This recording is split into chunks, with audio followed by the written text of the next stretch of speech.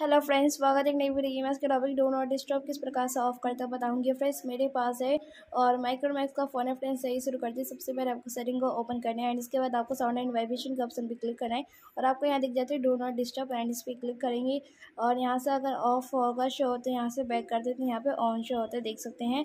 और फ्रेंड्स अगर यहाँ से ऑन करते हैं तो फ्रेंड्स आप बैक करके यहाँ पर देखते हैं तो ऑफ़ शो होता है। तो फ्रेंड्स इस तरीके से कर सकते हैं। डो नॉट डिस्टर्ब ऑफ़ तो फ्रेंड्स प्लीज़ नई वीडियो को लाइक करें चैनल को सब्सक्राइब करें फ्रेंड्स तब तक के नमस्कार